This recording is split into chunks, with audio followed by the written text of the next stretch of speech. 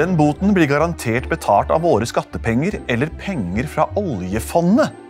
Hun kommer aldri til å betale den. Ja, hallo, det er Erna. Ja, jeg godkjenner herved en eh, oppumpning av to ekstra liter olje i forbindelse min, med min fest på Geilo. 60 år!